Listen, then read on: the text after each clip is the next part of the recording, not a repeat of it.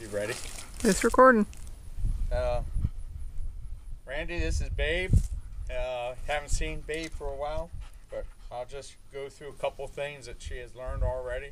We'll just do some basic heeling on my side, uh, some sit, both verbal and whistle, and then we'll go to some walking fetch, and maybe to go into the pile uh, on back, and maybe a few marks, and we'll walk to water and get a couple water marks.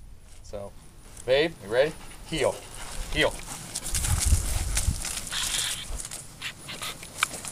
Sit. Good. Heel. Heel. Over here. Heel. Heel. Sit. Good. Good girl. Heel. Heel.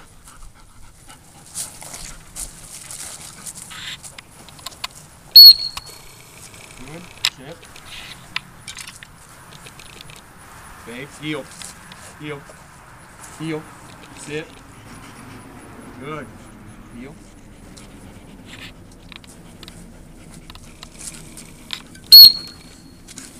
Sit. She's fairly steady. She's steady on marks.